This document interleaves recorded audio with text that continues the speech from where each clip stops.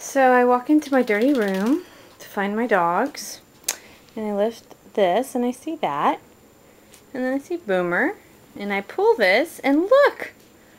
What happened? How did this happen, my sir? Huh? How did you get this around your neck? Hmm?